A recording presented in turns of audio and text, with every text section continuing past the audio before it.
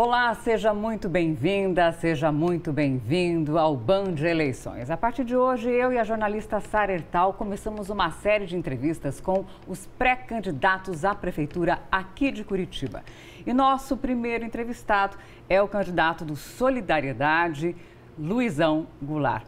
Muito bem-vindo, candidato. Obrigado, Alessandra, Sara, obrigado por essa oportunidade e parabéns à Band por fazer esse trabalho de grande alcance social de dar o maior número de informações possíveis para a população poder decidir bem o seu voto. A gente que agradece a sua presença.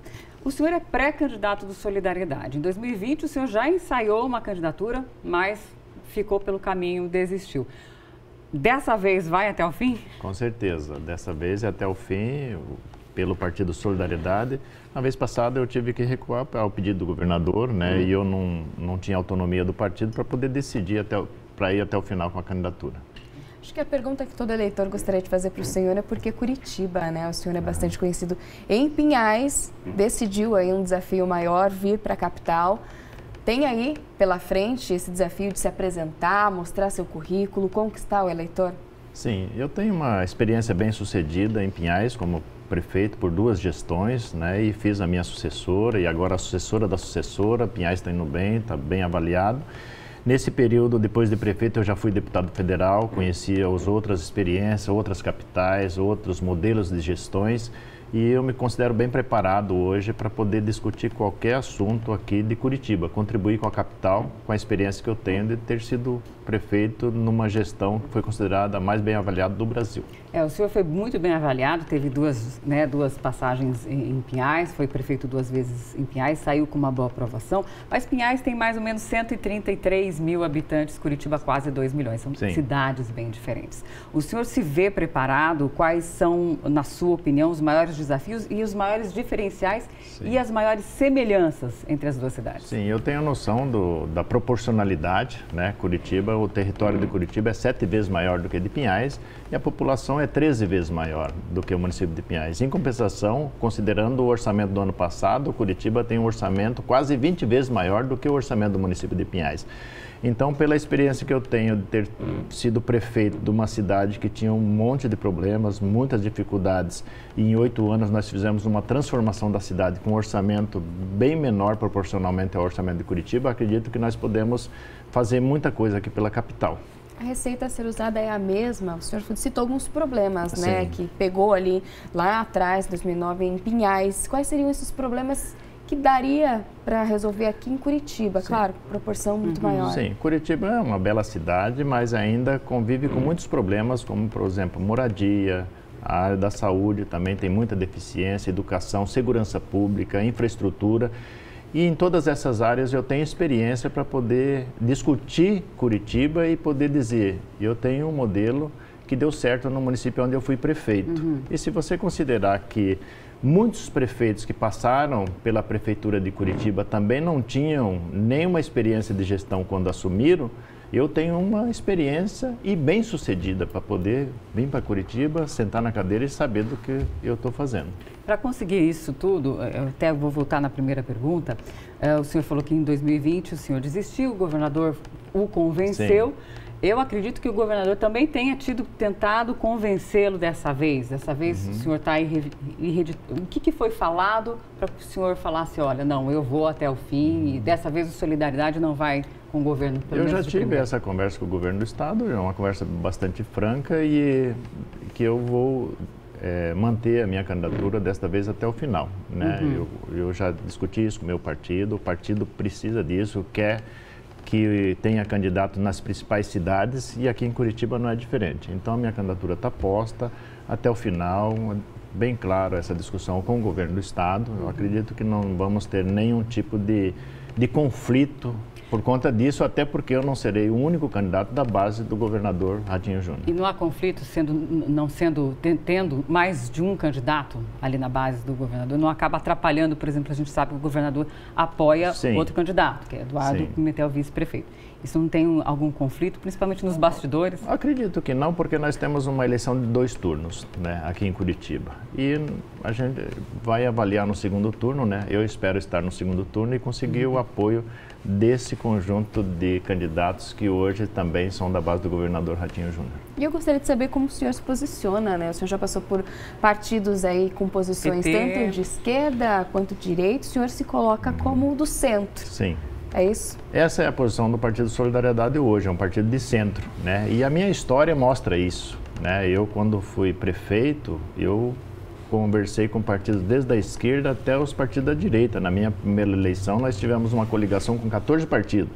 E na reeleição, quando eu consegui em Pinhais ter a maior votação do Brasil, proporcionalmente, nós tivemos uma coligação com 21 partidos. E a minha gestão foi sempre baseada no bom senso e no diálogo. Né? Então, por isso que eu me coloco aqui em Curitiba como um candidato de centro que dialoga tanto com os partidos mais da esquerda quanto com os partidos mais da direita. E o senhor sendo eleito vai ter essa boa, esse bom relacionamento, essa boa conversa com a Câmara também? Com certeza. É, isso não é de falar de agora, é, eu falo de uma experiência. Né? Eu sempre tive um bom diálogo, até porque eu fui vereador. Eu passei por uma Câmara de Vereadores, eu fui é, presidente de Câmara Municipal, né? lá onde eu fui prefeito depois, já fui deputado estadual e também deputado federal. Então eu converso muito bem com o Legislativo. E com o governo federal? Com o governo federal, eu deixei, nesse período de quatro anos lá, deixei muitas portas abertas, né?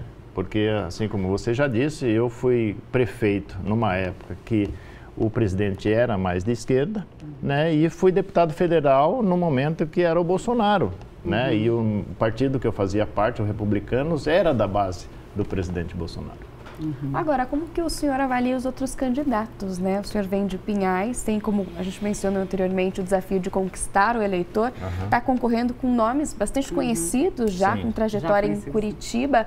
Como é que você avalia essa corrida? Eu acredito que em Curitiba eu seja a novidade, né? Porque os demais candidatos, o eleitorado de Curitiba já conhece, já passou pela prefeitura, já sabe os pontos positivos, os pontos negativos, e eu venho com um olhar de fora, né, olhando as possibilidades que Curitiba ainda tem.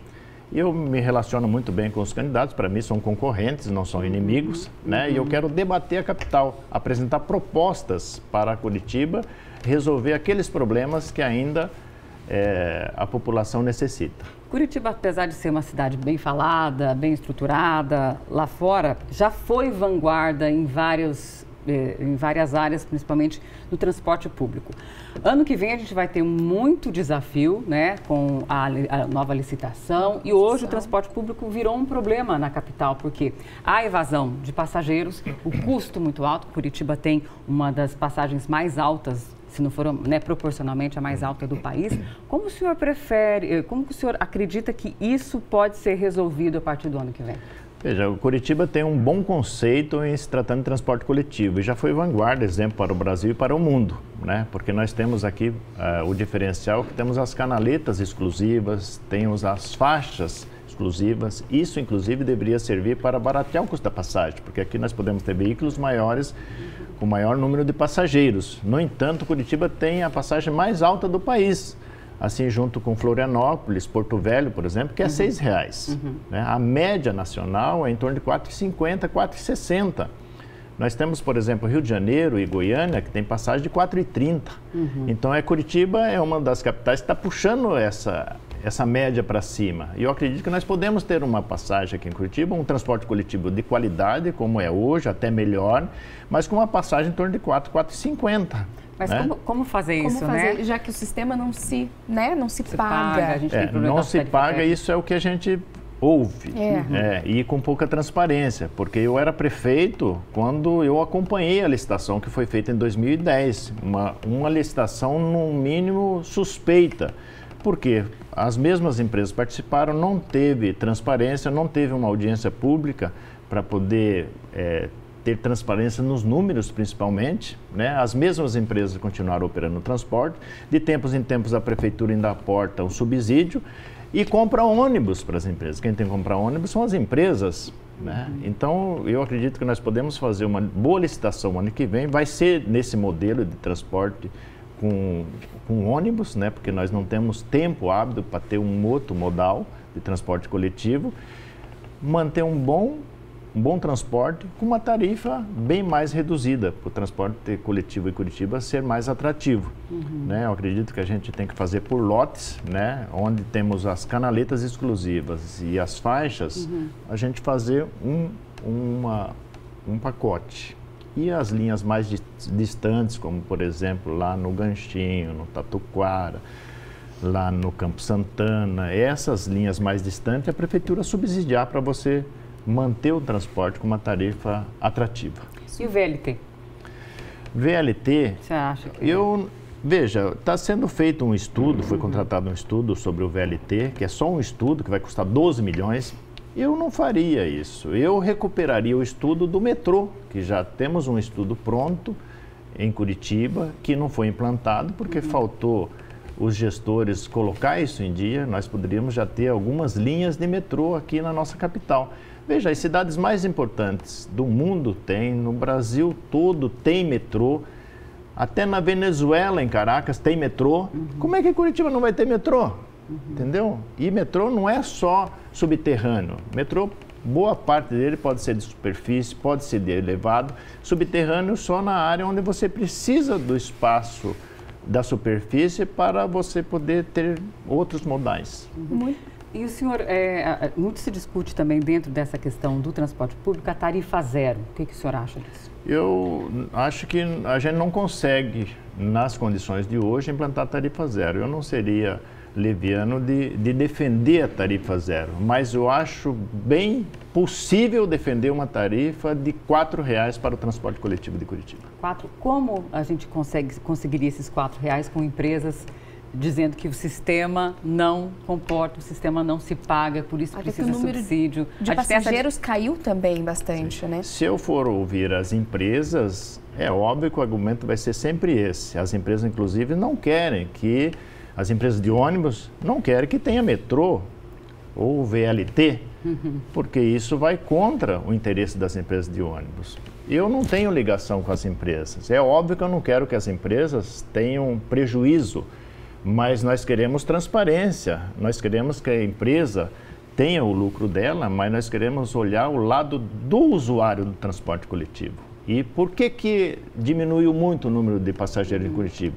Muito provavelmente pelas condições de transporte em algumas linhas e o preço da passagem.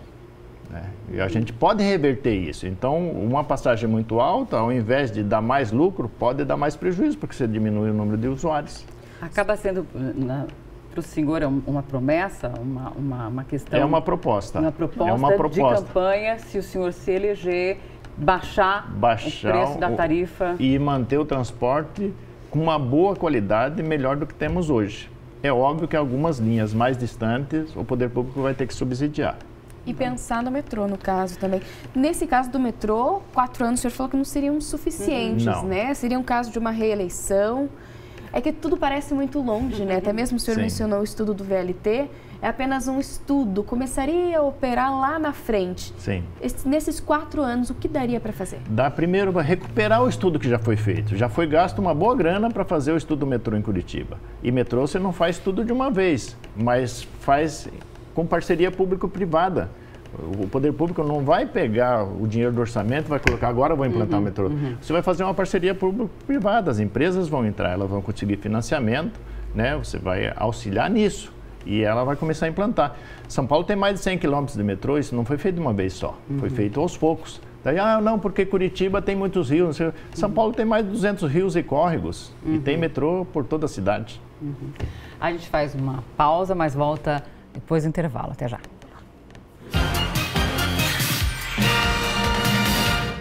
Estamos de volta com o Band Eleições, hoje recebendo o pré-candidato do Solidariedade à Prefeitura de Curitiba, Luiz Angular. O senhor estava falando uh, no bloco anterior sobre essa questão do metrô, mobilidade urbana, e eu gostaria de continuar nesse assunto agora falando da linha verde, uma obra que demorou 17 anos, não para ser totalmente concluída, que falta muita coisa, mas como é que o senhor, como gestor público, avalia a linha verde? Bom, eu acho que uma obra que demora 17 anos eu acho que tem muito de problemas de gestão, de incompetência, além, de, claro, da falta de continuidade nas gestões. Mas isso não se justifica, porque, veja, 17 anos, quase a metade desse tempo é dessa gestão, uhum. porque essa gestão está completando oito anos, né? E pelo que eu sei, 2,8, 2 quilômetros e 800 metros que foi feito nessa gestão, mais ou menos isso, né? Uhum. Que foi o, final lá da, da linha verde. O primeiro trecho da linha verde eu acho que muito mal planejado, porque você tem um monte de sinaleiro, trava tudo, o curitibano que passa por ali, ele sabe a dificuldade que tem, nós deveríamos ter ali trincheiras, viadutos, então foi mal planejado, mal projetado aquele trecho. O segundo, embora tenha trincheira e viaduto, mas demorou demais. Eu tenho um exemplo da João Leopoldo Jacomel, para fazer comparação. A João Leopoldo Jacomel tem 14 quilômetros, vai da divisa do limite de Curitiba com Pinhais até Piraquara. Uhum. Uma parceria do governo do estado com os municípios. Né? Essa obra demorou quatro anos, custou 213 milhões, mais ou menos. Tem viadutos, tem trincheira, né? e em quatro anos ficou pronta. E, no entanto, a linha verde demorou 17 anos, né? um custo muito elevado com essas paralisação e essas retomadas, e ainda não está pronta. Se você olhar o viaduto, por exemplo, ali da Vitor uhum. Ferreira, com a linha verde, ainda. aquilo eu acho que até o final do ano ainda não fica pronto, né? Temos ainda tubos para ser colocados, muita coisa para se fazer. Foi importante a liberação, porque aquilo estava travando, né? A ligação, principalmente na, na, na, parte norte ali. Então, essa avaliação que eu faço. Eu acho que teve muita incompetência nesse processo, encareceu muito a obra e nós vamos ter que retomar, principalmente no primeiro trecho, para fazer intervenções viadutos, trincheiras para fluir o trânsito, porque hoje está travando demais. Uhum. Aproveitar que a gente está falando de estrutura da cidade, eu queria te perguntar sobre um problema que é um dilema para várias famílias, questão dos alagamentos, né? Chove um pouco mais aqui em Curitiba, são vários pontos na cidade, ficam... algumas regiões mais críticas, temos muitas famílias em áreas de risco também. Como resolver esse problema? Que antes eram pequenos pontos, hoje você vê. E a tendência com as mudanças climáticas hum. é que esses Aumentar. problemas. Com aumentem. certeza. E, e os gestores que não se preocuparem com isso, eles vão ter problema logo, porque você nunca sabe a hora que vem uma chuva demais. Eu tenho experiência nessa área. Né? Quando eu assumi a prefeitura, no município de Pinhais, Pinhais era um dos municípios que mais alagava na região metropolitana. Qualquer chuva forte que dava, lá já virava notícia. Uhum. Né? E nós conseguimos resolver tanto dos alagamentos quanto das enchentes, porque alagamento é quando a água não escoa, não vai para o rio, porque tem tubulações antigas, porque tem falta de planejamento, a impermeabilização do solo. Então a gente, tanto com planejamento, com organização, com investimento, nós fomos resolvendo os gargalos, né, para evitar os alagamentos.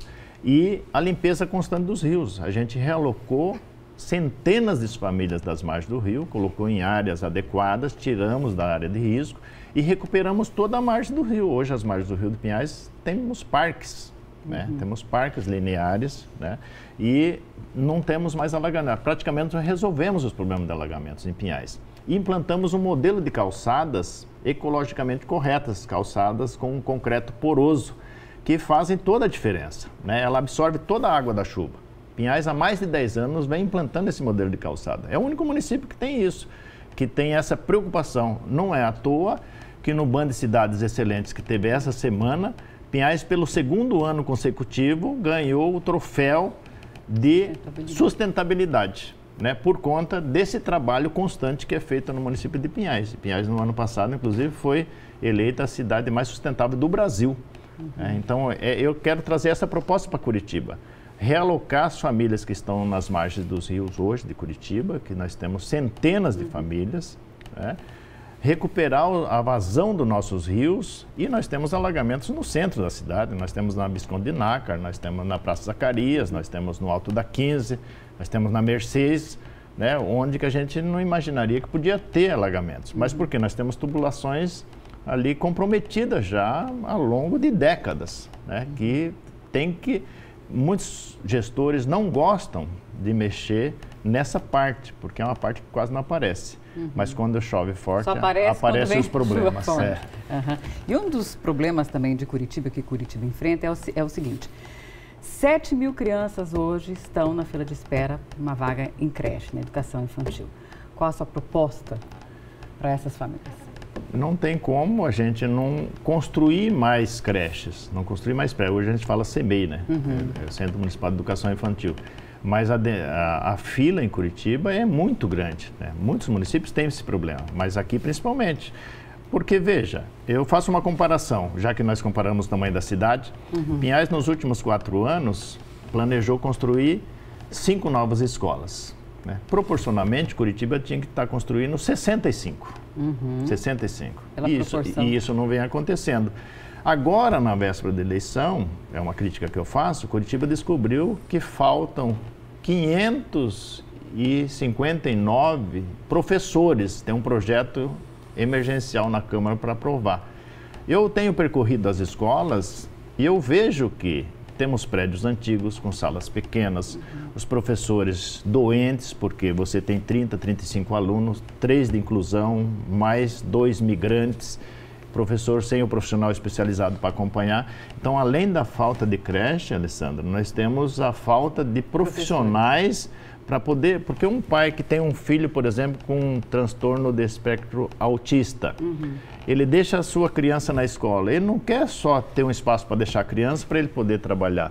Ele quer que essa criança tenha um atendimento diferenciado. E se não for diferenciado, essa criança só está ali porque não tem outro lugar para ficar. E a gente está vendo também o processo de terceirização, gostaria de saber a sua opinião sobre isso, é, porque a gente está aí numa encruzilhada de terceiriza ou não terceiriza. O senhor é professor de formação, né? Sim. né? Formado em filosofia, né? Pela UFPR. Filosofia e história. Foi né? professor, foi diretor de escola. Como é que o senhor vê essa necessidade? O senhor é a favor de concursos públicos? É a favor de, de, de contratação terceirizada? Qual que é a sua visão? Eu sou a favor de concurso público, contratar bons profissionais. Inclusive, nós aperfeiçoamos muitos concursos públicos em Pinhais, selecionando bons profissionais e exigindo prova prática para que a gente contrate os melhores sempre para prestar um serviço para a população. É claro que em alguns momentos, por exemplo, se tratando de creche, vaga em creches, uhum. né? Você constrói, tem que construir boas escolas com arquitetura moderna, com é, material pedagógico moderno e profissionais bem preparados para cuidar da nossa criançada. Enquanto não temos a escola para atender toda a demanda, nós temos que fazer parcerias, por exemplo, com, com empresas que trabalham com educação infantil uhum. e aí você contrata as vagas para poder suprindo a demanda, uhum. né? Mas isso não descartando, né, deixando de lado a necessidade do poder público construir as suas escolas, equipar e contratar profissionais para cuidar da educação, da conta da educação uhum. das nossas crianças. Outra demanda também que o poder público está tendo dificuldade de dar conta, né? é quando a gente fala de saúde. Hoje, as uhum. unidades básicas de Curitiba atendem mais pessoas da região metropolitana, de outros municípios, do que curitibanos mesmo, né? E essa procura toda acaba em superlotação. Nós tivemos também a crise né, de sintomas respiratórios. Houve ali toda aquela preocupação no atendimento. Como resolver isso, já que muita gente procura, o sistema não dá conta, isso tende a piorar? Uhum. Bom, o Sistema Único de Saúde, ele ele é bastante democrático, né? Então, assim como tem pessoas da metropolitana que vêm para Curitiba, na UPA de Pinhais também, o pessoal do bairro Alto Capão da Embuia também, também ia lá, entendeu? Uhum. Porque o atendimento era bom, então as pessoas também iam para uhum. lá. Agora, não tem como você ter um bom atendimento de saúde, sendo que a demanda na área da saúde aumentou em torno de 30% e 40%, e a estrutura da saúde da nossa capital é a mesma de 3, 4 anos atrás. Né? Vou dar um exemplo né? agentes comunitários de saúde. Nós temos 555 agentes aqui em Curitiba. Nós teríamos que ter quatro vezes mais. E o agente comunitário de saúde é aquele que faz o primeiro diagnóstico, é aquele que vai nas casas das pessoas, que trabalha a atenção básica. Então, por aí a gente vê que tem uma defasagem grande no número de profissionais. Aliás, a Prefeitura de Curitiba tem hoje em torno de 26 mil servidores. Uhum. Isso é menos do que tinha há 3, 4 anos atrás. Não tem como a gente prestar um bom serviço. Por outro lado, qual a cidade do Paraná que tem a melhor estrutura na área da saúde? É Curitiba. Uhum. Então não se justifica que nós temos hoje uma lista enorme de pessoas esperando um exame especializado, uma cirurgia, na capital que tem gestão plena na área da saúde, né? a melhor estrutura de saúde e hospitais de referência como o Hospital do Trabalhador, a Santa Casa, o Hospital Cajuru, Hospital uhum. de Clínicas, Erasto Gettner, nós temos a melhor estrutura aqui. Então, o que está faltando, ao meu entender, é a gestão. Como o senhor faria, né? Pode tomar uma aguinha aí, a gente está falando dessa questão, porque é uma questão complicada, a gente viu né, na pandemia, né? A, a, a, o sistema de saúde de Curitiba, a capilaridade do sistema funcionando muito bem. Mas o fato é que a gente tem vivido esses gargalos. Sim. O senhor falou que, que a gente tem estrutura, o que falta é gestão. O que o senhor mudaria? Eu eu investiria em mais profissionais em todas as áreas, começando pelos agentes comunitários de saúde, que hoje o Ministério da Saúde preconiza um agente para cada 700 a 750 habitantes. Então, se nós temos 555 para 1 milhão e 800 mil habitantes, nós teríamos que ter em torno de 2.500 agentes. Senhor faria concurso? Faria concurso, contrataria mais, começando mais agentes, mais enfermeiros, mais técnicos de enfermagem, mais médicos, para atender a estrutura básica faria parcerias com os hospitais de referência que nós já temos na nossa capital, para a gente zerar essa fila de exames especializados e cirurgias. É isso que eu faria. Uhum. Faria o básico bem feito. Eu acho que ainda dá tempo de a gente entrar nessa questão, questão do centro de Curitiba, né? A gente vê campanhas aí para fomentar o comércio, mas muitas lojas estão deixando a região central, que sempre foi um ponto turístico, né? Os comerciantes têm reclamado dessa situação, muito também Abandono, por conta moradores em situação de pessoas rua. em situação de rua. Como resolver esse problema que é complicado também, né? Sim, com certeza. Não tem problema fácil de resolver nessa área. Nós temos hoje Curitiba é a sexta cidade com maior número de moradores em situação de rua. Que esse é um problema que tem que ser enfrentado. O poder, essas pessoas não conseguem sair da rua sozinhas, muitos nem querem sair. É, é complexo, né? O poder público é. tem que dar a mão para essas uhum. pessoas que precisam de uma assistência médica, assistência social, assistência psicológica, trazer essas pessoas, porque nós temos aqui, a meu ver, implantado dois programas. Um que é o Supera Rua e outro é o Caminho de Volta ver por qual caminho essa pessoa chegou até aqui, para a gente poder fazer o caminho de volta. Essa pessoa é de Curitiba, essa pessoa é das outras cidades, é do interior, da onde que ela é. Nós temos que individualizar o problema, não tem como uhum. tratar todos iguais. E nós temos que revitalizar o centro, nós temos que dar vida ao centro. Os comerciantes, os proprietários, os moradores do centro da cidade estão desesperados, eles querem uma, uma alternativa, uma luz. Né? Uhum. Né? Eles saem e só vê muita gente em situação de rua e não consegue ver uma proposta concreta para superar essa situação. Eu proponho a gente encarar esse problema, fazer parcerias com as comunidades terapêuticas, com as clínicas de recuperação, com as igrejas. Nós temos 1.700 igrejas em Curitiba e grande maioria está disposta a ajudar. Uhum. Mas o poder público tem que assumir com vontade política para resolver esse problema e fazer as parcerias necessárias para poder dar um encaminhamento, para retirar as pessoas da rua. Nós não precisamos ter uma multidão de pessoas revirando lixo no centro da nossa capital. Infelizmente, nosso tempo acabou. Gostaria de agradecer a sua presença aqui com a gente. Obrigada. Obrigada a você aí de casa também e até uma próxima oportunidade.